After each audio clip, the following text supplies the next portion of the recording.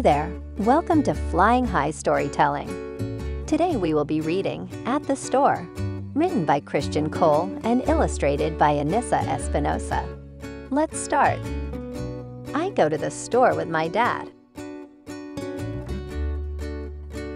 We buy cheese.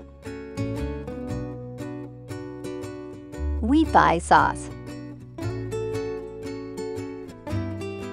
We buy dough. We buy tomatoes. We buy sausage. We go home. We make a pizza. Yummy!